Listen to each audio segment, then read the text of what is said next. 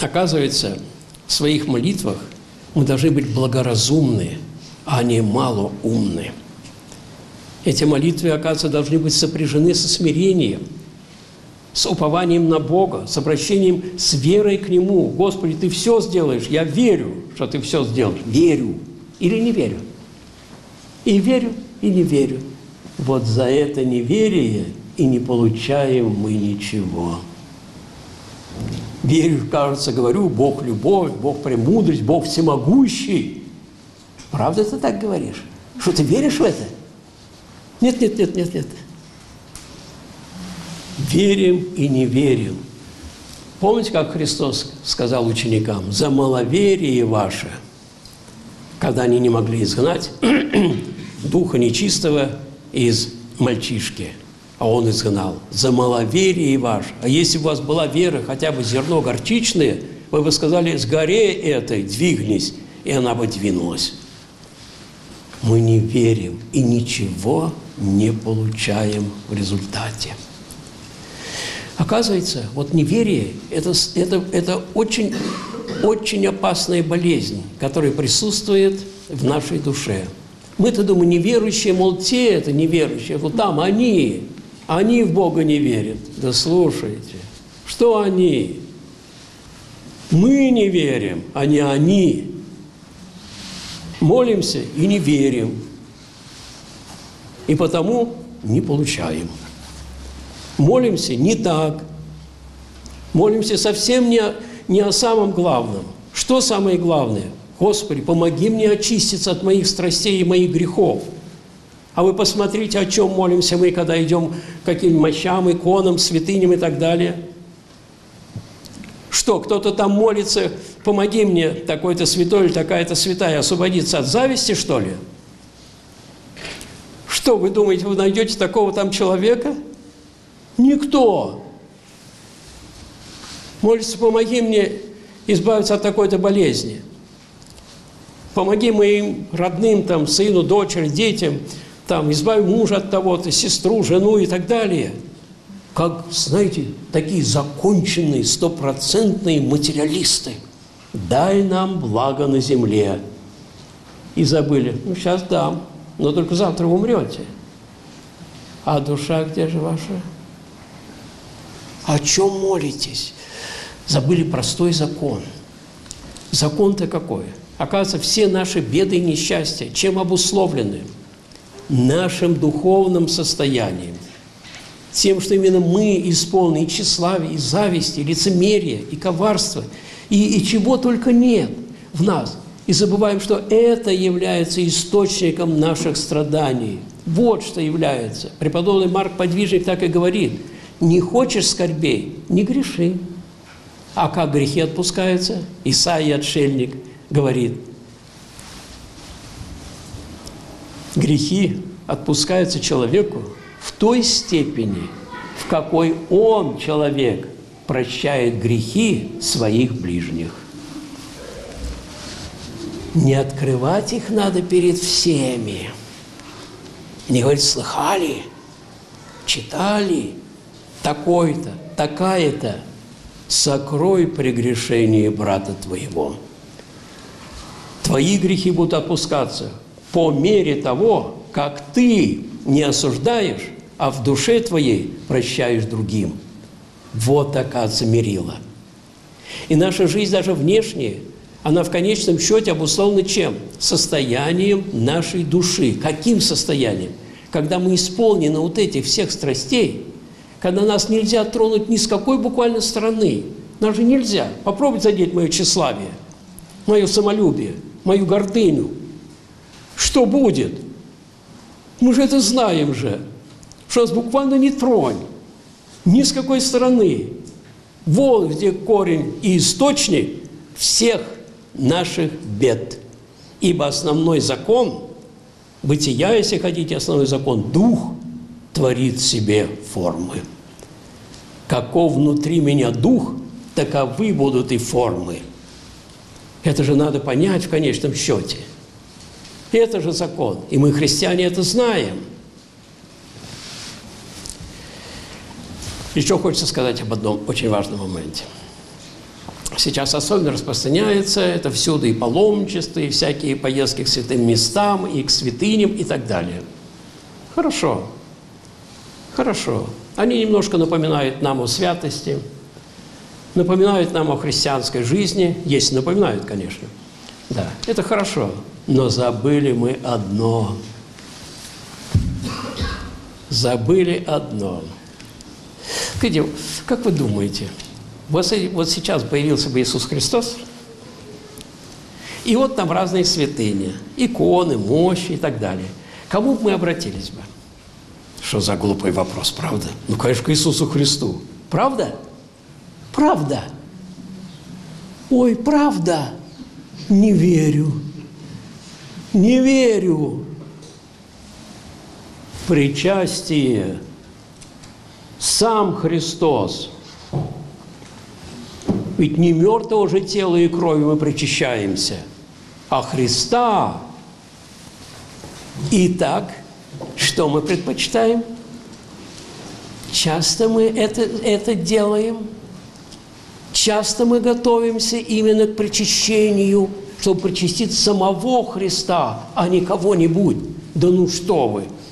Я за тысячи верст не знаю, поеду куда. Да, лишь бы там поцеловать какую-нибудь святыню. А вот она рядом, святая Евхаристия. Поисповедуйся, попастись немножко хотя бы день, помолись хотя бы день, причастись самого Христа. Вот Он сам. Вы слышите, перед чем мы стоим и чему мы отдаем предпочтение? Теперь поняли, насколько наша вера велика, о Боже мой! забываем даже о таком, о таком величайшем таинстве, величайшем благе, которое Господь дал нам, и размениваемся. Да, все хорошо. И поклонение иконам, и святыням, да, да, но есть первостепенные вещи, есть вторичные, и никогда нельзя этого забывать. И когда мы к причащению святых тайн – относимся небрежно, а здесь будем стоять десятки часов, то мы показываем себя. Попробовали мы так, точно так же простоять, допустим, эти 10 часов в молитве перед причастием.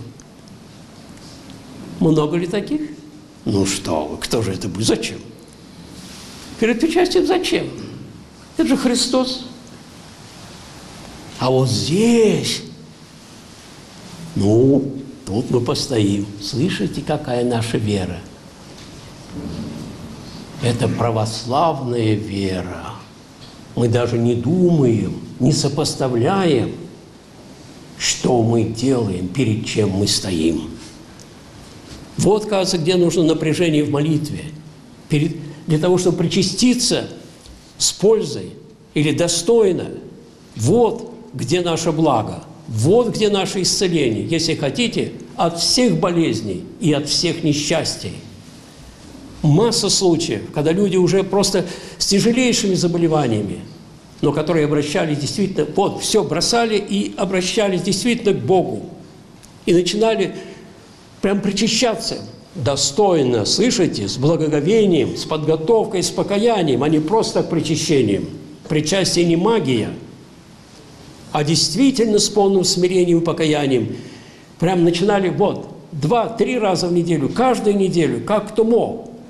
Исцелялись полностью. Таких фактов множество. Я думаю, что, может быть, и на глазах у некоторых здесь сидящих это было. Хотя сейчас, может быть, уж очень мы оскудели духовно как-то. Уж очень оскудели. Это таинство величайшее, это сам Христос. Неужели мы от Него отвернемся? Ну ты, Господи, подожди, а я пока съезжу вот туда. Вот что мы делаем. Вот во что обращаемся мы. Какая тут нужна осторожность, какая грань. И каждому, каждому свое место. Нужны нам святыни? Нужны. Они напоминают нам о чем? о том, какими мы должны быть. А вместо этого мы забываем, что мы должны быть Для нас важно самое главное – приложиться. То есть язычники. Дело-то не в том, чтобы приложиться, а в том, чтобы, взирая на эту святыню, вспомнить о том, кто я, в каком я нахожусь состоянии, и прикладываясь к этой святыне, молиться не о чем-нибудь, а о прощении своих грехов, об очищении своей души, молиться со смирением, покаянием и благовением. Вот если бы так мы стали, я думаю, наша жизнь бы как изменилась бы. Если бы молитву не подменяли формой. Еще раз хочу напомнить, величайшая беда может быть христианских людей в том состоит, что мы молитву подменили формой. Мы вычитываем, мы выслуживаем, мы выпеваем да, и так далее. Так далее. И говорим, что мы помолились. Слава тебе, Господи! Василия Блаженного спросили, как народ-то много там в храме, откуда вышел. Он говорит, да нет, два человека. А храм был полный. Два человека. Остальные стояли когда же закончится служба. Кто там служит? А какой это архиерей? Ой, а какая митра? Ой, а куда это они пошли? А это что-то так и говорит так странно. А это что стоит за еще за барыня? А это что за гусь такой лапчатый? Представляете? Ну еще за два часа, три можно, ой, насмотреться и надуматься о чем. По всему миру побродим. Кого только не осудим, не пересудим. Каких только проблем не решим. Только одну не решим проблему, зачем и пришли в храм. Точно по дедушке Крылова. Слона-то я и не приметил. Вот так. Сейчас скажу, есть очень большая опасность. Еще два слова. Я, я понимаю, что я э, замучу. Профессорам, кстати, никогда не давайте свободу слова. Вот. Они не могут никак окончить. Но два слова, хотя хочу сказать. Сейчас ну, есть, такая, есть такой момент, такой не, не очень приятный момент. Как-то я купил одну книжку, ну не буду называть, там о молитве Иисусовой. Что там я прочитал? Старец, пришедшему молодому человеку, вручает четки и говорит ему, вот сейчас ты будешь с нами молиться. Встанем на бдение ночное. 9 четок, 9, 3, 27, по-моему, правда? То есть 2700. Это Иисусу Христу. Господи Иисусе Христе, помилуй меня. И три четки Божьей Матери, Пречистай Богородица, спаси нас. Это 900. Причем эти, слышите, сразу, причем это нужно читать как можно быстрее. Как можно быстрее. Написано, его язык этого молодого человека работал как моторчик. Не прошло и часа, это в книге написано, не прошло и часа, как он уже прошел, по, уже прошел, совершил 3600 молитв Иисусовых. Я посмотрел, хм, это в секунду молитва? Ой, как интересно. Как он мог произнести? Попробуйте. Что такое? Даже не прошло и часа. Тот же святитель Игнатий Бринчанинов, это наш наставник молитвы Иисусовой, пишет, что сначала иноку, или тот, кто хочет стать иноком, сначала нужно произнести не более ста молитв Иисусовых, затем дать отдых уму, он нас еще не окреп. При этом молитву надо произносить очень неспешно – с вниманием каждому слову. Я подчеркиваю еще раз. Очень неспешно. На сто молитв Иисусовой, говорит он, требуется приблизительно полчаса на сто молитв. Здесь за час 3600 молитв Иисусовых.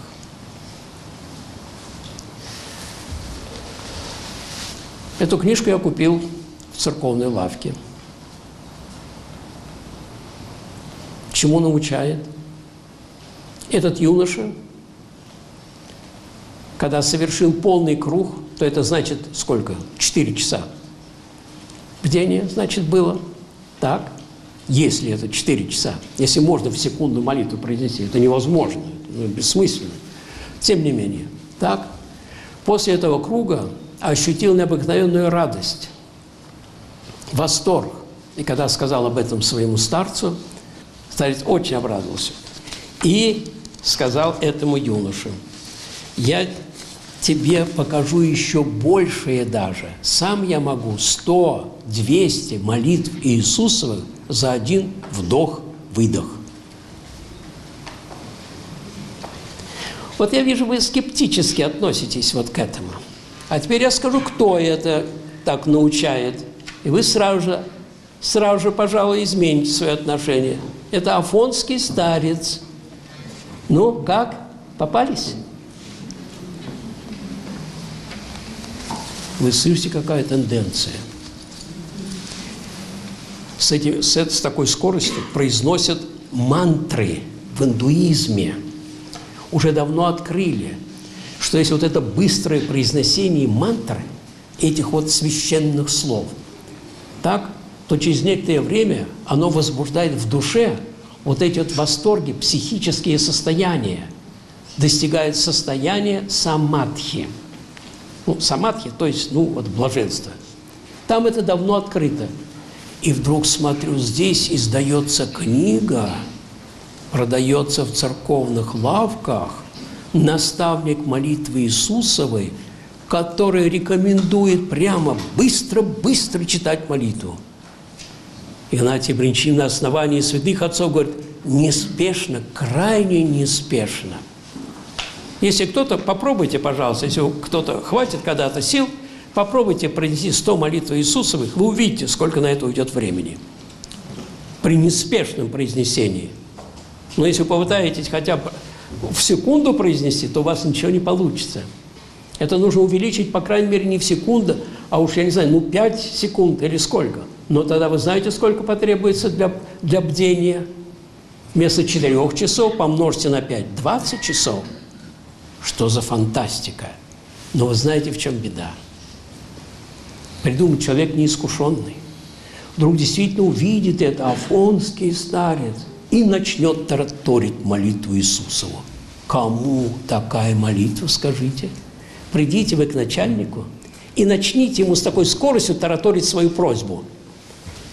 Я думаю, что через 10 секунд окажетесь за дверью. Где же благоговение? Где же внимание? Где же покаяние? Когда человек как из автомата сыпет это слова молитвы. И это теперь внедряется, пропагандируется. Какая беда!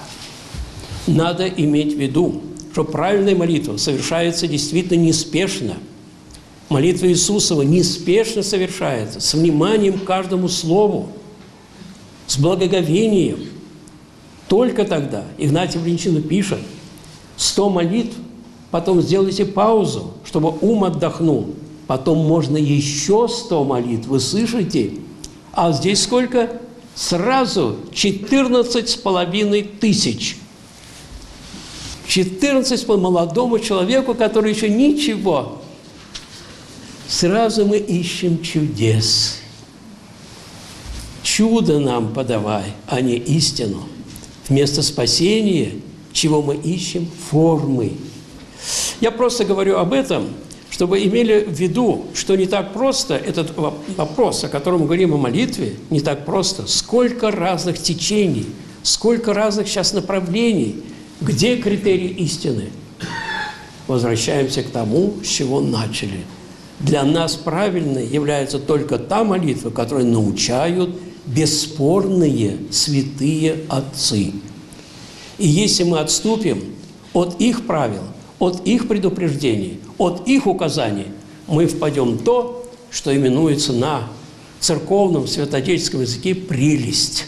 Не помилование в грехах, не очищение от грехов, а искание чего? Наслаждение в молитве. Через один круг уже наслаждение. Вот вам критерий истины. Вот вам настоящая прелесть. Об этом тоже надо знать, чтобы не ошибиться. Ну, спасибо. Спасибо. Если какие есть вопросы, то пожалуйста. Просили бы вас, это сводные вопросы, поделиться своим опытом э, встречи с святыми людьми, с подвижниками веры и благочестия, которые оставили на вас какое-то впечатление, их образ мысли, образ поведения, э, как нам э, наглядный пример воплощения христианства в нашей повседневной жизни. Ну, вот у меня был один пример, я могу сказать, игумен Никон Воробьев. Это действительно, я такого человека больше не встречал. Такого, действительно, такой силы, силы духа, сила молитвы, я бы сказал, вот. Такого я не встречал. Встречал, встречал тех, которые действительно были искренние, очень добрые, очень внимательные, очень благочестивые. Но такой силы духа, которую я встретил у игумна Никона Воробьева, я больше не встречал. Вот есть, что могу сказать. Его книги сейчас издаются, его это письма духовным детям, «Внимай себе», разные, о началах жизни. Сейчас эти книги издаются. Если кто хочет познакомиться действительно со именно с духовным опытом, правильным духовным опытом, то я думаю, что его книги дадут, дадут очень много каждому читающему. Чтобы приобрести э, молитву частую, удобнее всего молиться Иисусовой молитвой. И чтобы она привелась, э, и чтобы она появилась, стараться как можно чаще обращаться к ней. Можно ли заменять утренние и вечерние молитвы на эту молитву, чтобы приобрести навык? И вы как лично поступаете? Нет, насчет лично, слушайте, я с самого начала сказал, что я больше всего на свете люблю делиться своим духовным опытом, поэтому больше о нем уж не буду говорить. Да, во избежание недоразумений. Избави Бог своим личным. Если я своим личным опытом начну делиться, все в болоте окажемся. Вот. Наша задача передавать, слышите, передавать святоотеческий опыт, то есть истинный опыт, но никак не свой – вот сейчас свой я вам продемонстрировал. Молитву Иисусу в секунду. Да. Да, так вот, мне так кажется, насколько я, так сказать, слышал, слышал от людей опытных, что правило есть правило. И без каких-то особых уже таких случаев, случаев мы отказываться от правила не можем. Поэтому нужно читать молитвы утренние и вечерние. Ну, может случиться, конечно, когда вдруг у вас неожиданно, ну, что угодно может быть. Какие-то, может быть, поездки, какие-то дела, какие-то встречи, все может быть. Да, вот тогда, когда вы видите, что невозможно по каким-то причинам совершить это правило обычное, тогда, конечно, надо постараться хотя бы заменить это молитвой Иисусовой. Тогда это оправдано, тогда и Бог видит, и душа наша, и совесть наша будет спокойна но правило все-таки остается правилом, хотя и говорят, что нет правил без исключения. Почему вредны ощущения чувственной при молитве, а также мечтания и видения? Это потому вредно, что мы начинаем себе прокручивать фильм перед, в своей голове. И вместо того, чтобы обращаться к Богу, мы обращаемся к, своим, к своему фильмику. И что же это, во что это превращается тогда? Вообще святые отцы очень решительно сказали не доверять никаким видениям. При этом, что говорят, Бог не разгневается на тебя, если ты даже отвергнешь истинное видение по причине смирения. Я недостоин, Господи. Это не мне.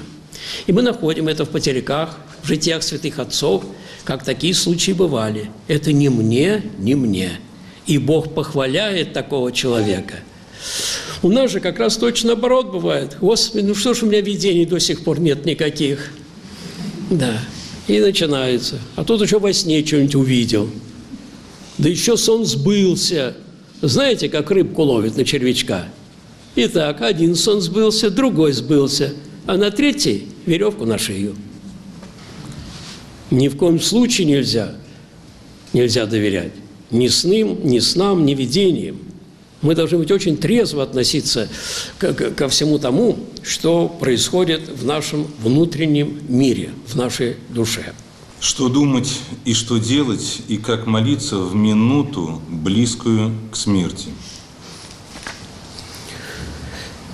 Ну, знаете, молиться в минуту, близкую к смерти, надо особенно с большим напряжением, обращаясь к милости Божией. Говорят, что перед смертью у многих бывают минуты неверия, отчаяния. Вот, это очень опасно. И это как раз те минуты, в которые мы можем показать свою верность Богу. И вот здесь поэтому, поэтому, говорят, здесь особенно надо вспомнить о том, что Бог есть любовь, что Он пострадал за нас – что так возлюбил мир, что отдал Сына Своего Единородного, вспомнить эти страдания Христа, чтобы понять, что мы не можем отчаиваться. Нет греха непростительного, есть только грехи нераскаянные. Нет непростительного греха, надо помнить.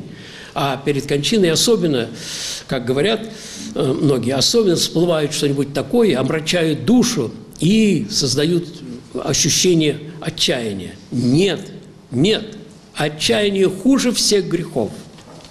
Хуже всех грехов. Потому что оно не дает возможности покаяния.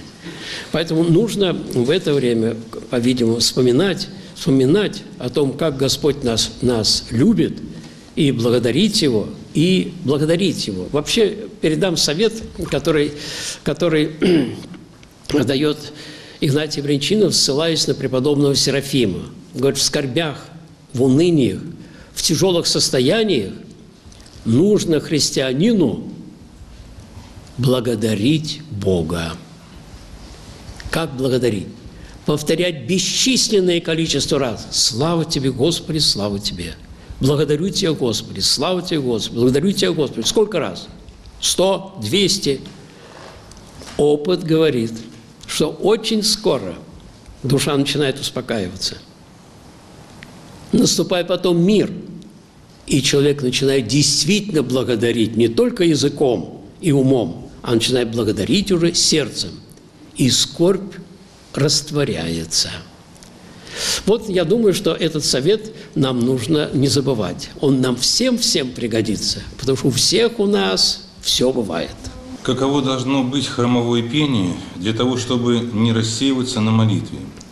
Как быть с теми образами и мыслями, которые возникают за богослужением, ввиду постоянно меняющегося строя песнопений с их новыми темами, которые понуждают человека к размышлениям над текстами песнопений?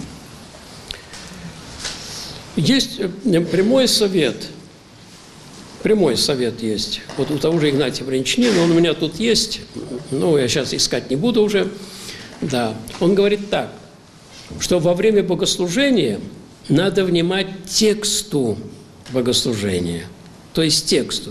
Если невозможно это, а это бывает довольно нередко, бывает, нужно заниматься молитвой Иисусовой. В храм мы приходим для молитвы, а не для каких-либо других целей. Вот. Пение поэтому должно быть таковым, чтобы не мешать молитве, не рассеивать. Поэтому посмотрите, сколько у нас было очень сильных выступлений в истории нашей русской церкви против концертного пения. Были даже решения, дважды поместные соборы наши принимали решения, запрещающие концертное пение. А посмотрите, какие интересные выступления были у патриарха Алексея Первого – как и очень интересный насчет пения. Да. А вы знаете, есть, есть даже одно письмо, оно сохранилось, э, Чайковского, Петра Ильича, э, к архиерею, по-моему, в Одессе.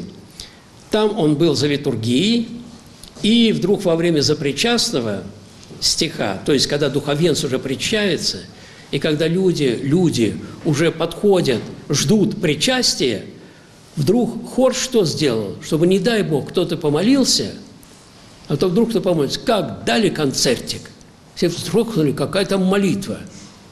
Тут концертик, а не молитва. Вы слышите? Это прям вот искушение. Люди ждут час, последние мгновения перед причастием. И вдруг им развлечение, концертик. И вот Петр Ильич с гневом пишет письмо этому архиерею. Вы его прочитайте. Э, кстати, на моем сайте, на моем сайте там есть это, это интервью, э, по-моему, называется «Клирос», кажется. Я поместил это письмо. Оно замечательное просто письмо. И целый ряд наших иерархов, выдающихся иерархов, и вот даже, видите, такая знаменитость, как он, все о чем говорят. В один голос. Первое. Нельзя превращать церковное пение в концертное пение. Церковное пение должно быть таковым, чтобы, чтобы создавать атмосферу мира. Слышите? Мира и тишины, ибо в мире Господь. В мире. В церковном пении фактически, наверное, не должно быть фортиссимо. Но если только уж какой архи... если архиерей разрешит, ну тогда можете на него покричать. Да. А так, фортиссимо, на Бога. Я часто говорю там, вы что на Бога кричите? Что с вами случилось? Что с вами?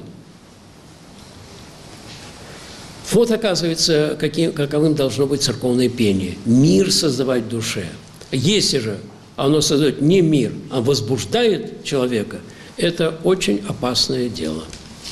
Значит, это уже ненормальное дело. Сосредоточенная молитва, о которой вы говорите – это во многом индивидуальный личный труд человека, что в этом отношении можно сказать о молитве семейной. Вот хорошо, спасибо за этот вопрос. Вы знаете, детей надо приучать к вниманию. Я как-то давно-давно посмотрел фильм «Кто такой йоги», по-моему, называется, что ли. И там обратил внимание, у меня запечатлелась прям картинка, кадр – девочка, ну там лет пяти, может быть, не знаю, она пытается сморщить свой лобик, чтобы сосредоточить внимание. Вы слышите? В йоге это очень важно. Важно, там один из важнейших моментов – это приучение человека к, к вниманию, сосредоточенности. И вот я подумал, мы часто детей учим чему? попугайничеству. И радуемся. Да, пока еще совсем маленький, верно, хотя бы выучил. А потом надо учить к вниманию. И вот здесь общая молитва. Опять можно прочитать «Отче наш, иди на себя, святится им да придет царствие Твое». При детях. Детям все ясно, понятно. Мы читаем не молитву, а какой-то, ну, какую-то церемонию перед столом семейная молитва, что это великое благо, когда она читается, читается осмысленно, неспешно, разумно читается. Дети тогда привыкают к этому. Они начинают понимать, что такое, что это молитва. Причем в семье отец или мать должны объяснять, что мы вступаем на молитву к Богу. Поэтому она должна совершаться вот так, а не иначе – и приучать детей, приучать к молитве. Если мы сумеем приучить, научить детей вниманию, внимательной молитве, вы знаете, какое благо мы пронесем им. От скольких скорбей и напастей, вы знаете, избавим мы своих детей. Очень многих. Сколько их нравственность мы поддержим. Как они смогут избегать всяких гадостей, которых сейчас полно – надо приучать сразу с детства, слышите, с детства к внимательной молитве. Это можно сделать в семье, дай Бог. Если можно, объясните, пожалуйста, разницу между человекоугодием и богоугодием. Человекоугодие – это лесть. Когда мы говорим «вы лучшие в мире», Хромому говорим, что он лучший в мире, да, бегун, да, а слепому лучший в мире стрелок и так далее. Обычно это делается, это лесть, самое настоящее. Очень часто это, это, к сожалению, происходит э, по отношению к людям более высокостоящим или в которых мы заинтересованы. но иногда и просто так. Льстим и все. Вот что такое человекоугодие. Тут причин может быть много. Много. Но в ней, в, этой, в этом человекоугодии всегда присутствует один очень такой серьезный момент. Я льщу кому-то, вы знаете, чего хороши? И я уже жду, что и мне будет такой же ответ, какой, а я-то уж лучший в мире. Чтец всегда ищет в ответ похвалы и себе и ждет. Ну что же я, интересно, я вам наговорил 40 бочек арестантов, да что вы хороши, а вы что мне скажете? Ну то же самое, конечно. Вот, вот что такое человекоугодие. Богоугодие объясняется очень просто. Сам Господь сказал, «Меня любит тот, кто исполняет заповеди мои». Вот что такое богоугодие. Исполнение заповедей. Заповеди. Эти заповеди различны, как вы знаете, но в конечном счете они сводятся к чему? К тому, чтобы бороться своими страстями, насколько это возможно. Каяться тут же. Согрешил, обманул, слукавил, ну слукавил. Тут же надо перед Богом покаяться. Очень советую предсмертный дневник – Э, Иоанна Кронштадтского, как он там о себе пишет. «Опять я разгневался на, на кухарку, она что-то там подожгла или что-то, и вспомнил, ой, Господи, прости меня». Слышите, опять я осудил вот этого, и опять, ой, Господи, прости меня. И он пишет, и как Господь близ находится, и как действительно дает утешение и очищение от греха. Богоугодие в чем состоит – меня любит тот, кто исполняет заповеди мои. Особенно важно, особенно важно э, заповедь, особенно важная – это та, чтобы, чтобы не причинять никому из людей никакого вреда, не желать каким-то людям ничего худого, никого не оскорблять. Вы знаете, самый неприятный грех, самый трудный – и который действительно нас уводит от спасения. Это не любовь к ближнему к близким, то есть ко всем людям. Здесь надо быть очень внимательным. Вот чем мы можем угодить Богу.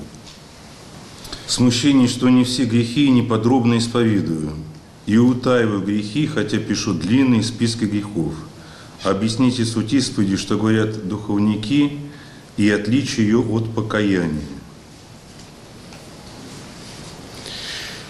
Ой, ну, это вопрос, конечно, не ко мне, но поскольку уж я поставлен такие условия и вынужден говорить, то, то скажу. Первое, о чем действительно советуют опытные действительно люди. Первое. На исповеди надо говорить только самое главное. Не перечислять все грехи. Это безумно, потому что если мы начнем перечислять, то и до своей смерти не кончим, потому что мы ни одной минуты не проводим по Божьему. Надо писать самое главное, то есть не писать, а говорить на исповеди. Это вот первое и очень важное. Вот. А когда мы начинаем, знаете ли, перечислять все на свете, это превращается в форму. Исповедь – это в конечном счете покаяние, покаяние в присутствии священника, который говорит, я только свидетель. Он свидетель здесь. Кстати, не инквизитор, а свидетель. Потому что я недавно был в одном городе, и там задали вопрос о генеральной исповеди. Говоришь, это входит. Я говорю, генеральная исповедь – это для человека, который никогда в жизни не исповедовался, или который лет 10-20 не исповедовался. Ну, верно. Ему надо за этот период, за этот период. А когда этот человек постоянно живет в церкви, постоянно исповедуется, и вдруг ему вот этот батюшка другие не требует, а вот этот требует генеральной исповеди, это первый признак, вы попали не туда. Не туда. Второе, говорят так, если в каких грехах покаялся, ну, есть грехи, которые, так сказать, единично совершаются. Например, осуждаемы постоянно. Тут уже приходится каждый раз каяться. Но какие-то особенно тяжелые грехи, если человек покаялся действительно, получил разрешение, то э, уже это на следующих исповедях не повторяется. Дальше. в отношении покаяния предупреждают, очень предупреждают, на исповеди не размазывать свои грехи, особенно плотские. Запрещается. Так же, как запрещается священнику лезть в кровать, также и тому, кто исповедуется, не размазывать это все, а просто назвать и все. Бог видит, что ты сделал и в чем ты каешься. Вот. И здесь не суд происходит, а покаяние. Это совсем разные вещи. Это тоже очень важный момент. Об этом приходится говорить, поскольку вот очень часто встречается. Когда недавно ко мне подошла одна женщина, лет 50 чем-нибудь, да, со слезами прям плачет. Уж не буду называть где и что и как. Но, в общем, попала на, генераль, на генеральную исповедь к молодому иеромонаху, и он говорит, он мне такие задавал вопросы, что мне стыдно, срам. Просто. Как он смеет это даже делать? Это безобразие. Вот это чистый католицизм. Там понятно, почему спрашивают, чтобы знать, что назначить за это, что ты должен за это сделать. У нас требуется покаяние. Разбойник много рассказал Иисусу Христу правой. И получил сегодня же будешь в раю. Так и здесь требуется, требуется именно вот очень трезвое, без расписывания, только самую суть говорить тогда это будет действительно исповедь покаяния. В противном случае можно превратить исповедь, знаете, в что? В отчет о проделанных грехах.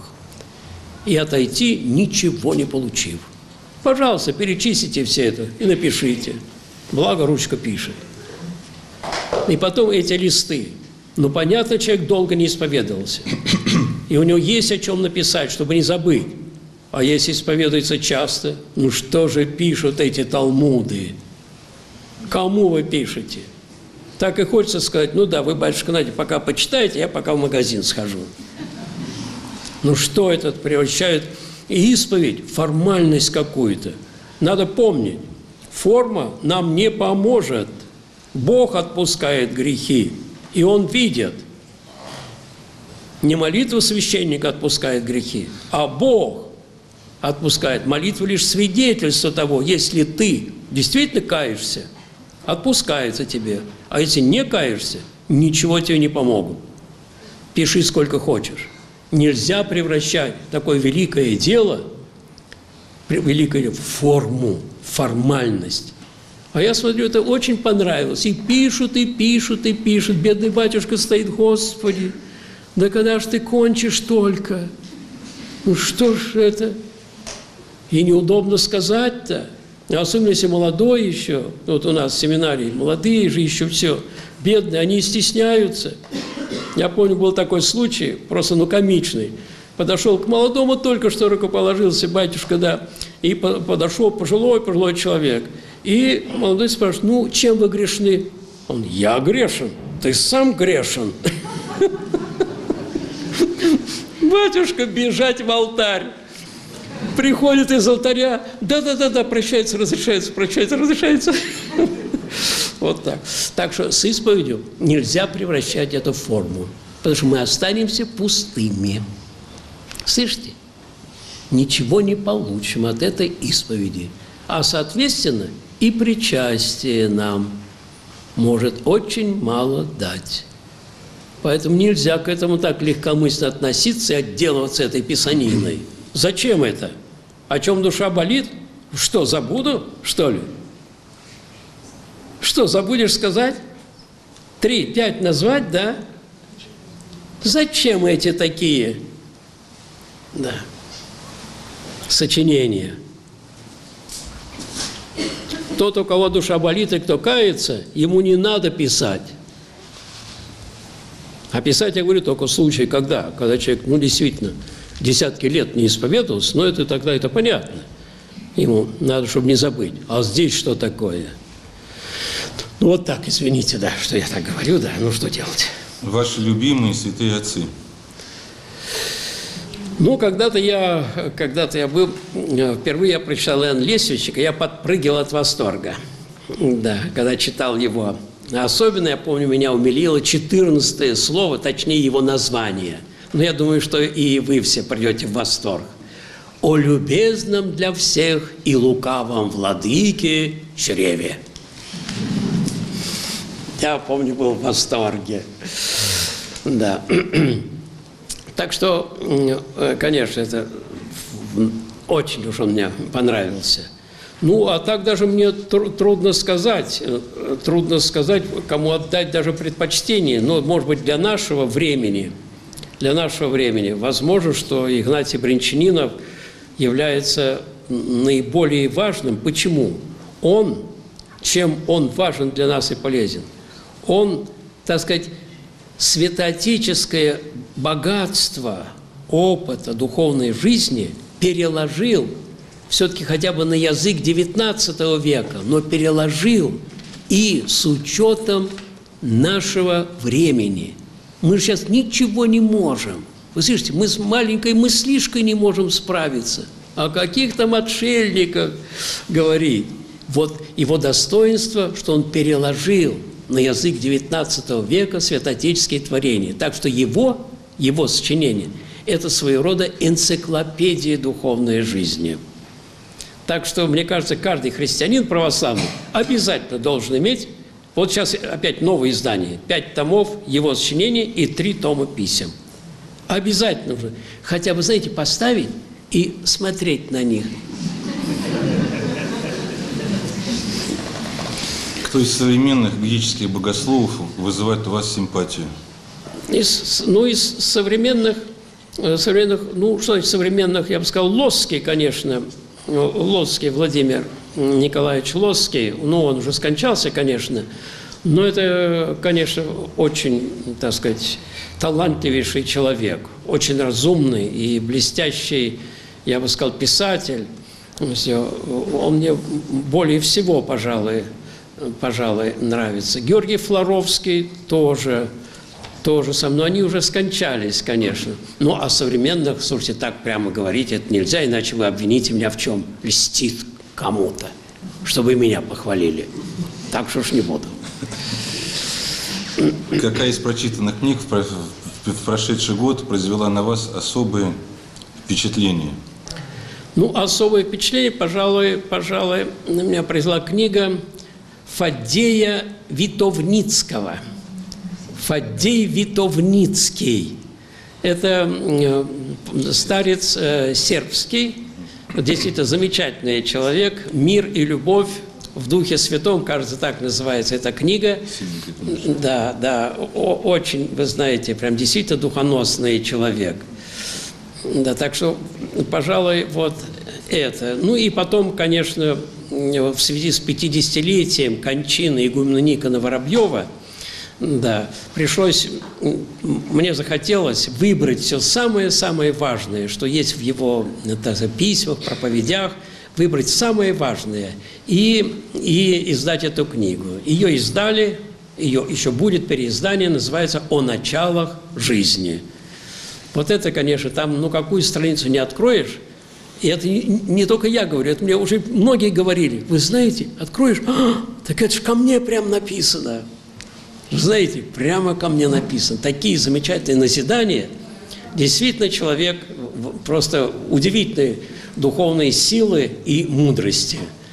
Так что вот эти вот, пожалуй, книги наибольшее впечатление произвели на меня. Работаю главным бухгалтером. Есть неучтенные белые и черные кассы. Когда дохожу до притчи о неправедном управителе, дохожу до слов «приобретайте себе друзей богатство неправедным», чешутся руки. Нет, ну, во-первых, надо понять эту притчу. Ведь как-то иногда спрашивают они, но не смотрят, чем она заканчивается.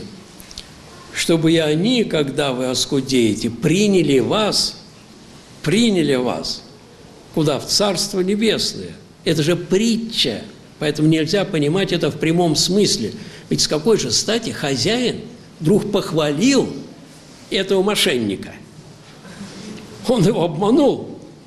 Вместо, 5, вместо 100 пиши 50, вместо 100 пиши 8, вдруг его хвалит хозяин. Вы же это притча. Речь-то идет не об этом. Похвалил не за то, что он обманул его, естественно, а он показал, показал же, что, что когда мы, если оказываем милость, милосердие, если хотите, по отношению к нашим так называемым должникам, а должники могут быть не только материальные, а еще в гораздо большей степени нравственные, моральные, да, когда мы окажем, то тогда и они окажут нам то же самое перед Богом. Вот о чем идет речь. Вот. Но насчет уже бухгалтера, тут, тут, знаете, это я никогда не соприкасался с этой сферой деятельности. И мне кажется, что здесь надо подходить очень просто рассудительно. Святые отцы сказали блестящую фразу, блестящую просто, великолепную, которой для всех нужно ее помнить и знать. Нет добродетели без рассуждения. А рассуждение, оно исходит из соответствующей ситуации. Гонятся какие-то бандиты за человеком. Он раз нырнул туда. Они подбегают. Где он? Я показываю, куда? Прямо противоположную сторону. Я обманул? Нет. Нет. Ибо истина только там, где есть любовь. Нет любви, нет истины. Надо запомнить эту, эту, эту истину. Нет истины там, где нет любви. Когда безобразному человеку, внешне, внешне безобразному скажете, что он безобразен, вы сказали ложь. Когда вы ему скажете, что вы симпатичный человек, вы скажете истину. Нет истины там, где нет любви. Так и здесь, вот в этих вещах, в этих черное, белое, да, и так далее – надо исходить все-таки из этого принципа. Без рассуждения нет добродетели, а без любви нет истины. Я думаю, исходя из этих вещей, можно будет как-то делать соответствующие практические выводы. Вот так. Во время молитвы притыкаюсь о выражении «страх Божий». Как правильно понимать это выражение? Угу. Когда речь идет о страхе Божьем, то речь идет не о том, что представляет себе Бога в виде тигра уссурийского, который, если я что-нибудь сделаю, растерзает меня. Не об этом речь. И надо нам всем запомнить, что Бог – врач, а не палач. Есть разница – врач или палач – может врач у меня копаться в зубах, и ой, как больно. И, наверное, многие переживали это. Иногда, может, чуть ли сознание теряешь. А может, палач. Огромная разница между тем и, и, и другим. Так вот, здесь эта бумажка, так, вот это да. Так, да. Вот так. страх Божий, это означает, иначе перевести, можно сказать, страх любви. Ну, слушайте, какой страх оскорбить любого человека, любимого человека?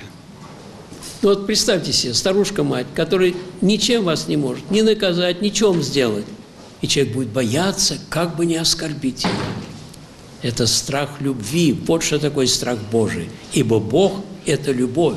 Как бы не оскорбить любовь Божию. Вот что такое страх, страх Божий.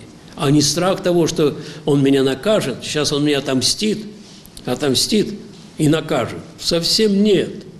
Если бы это было так, то мы уже должным давно должны быть в пепел весь, в порошок стерты от того, что мы делаем. Нет, нет страх оскорбить любовь Божию своим поступком. Слышите? Страх. И опять еще раз говорю, не по наказанию, а по любви не оскорбить ли любовь Божию. Страх Божий, кстати, вот этот страх Божий, он имеет очень большое значение в духовной жизни человека. Правда же? Мы же не хотим любимого человека как-то такое причинить ему беду, причинить ему скорбь, обидеть его чем-то. Правда же? Ну, правда же. Вот это и есть страх Бога.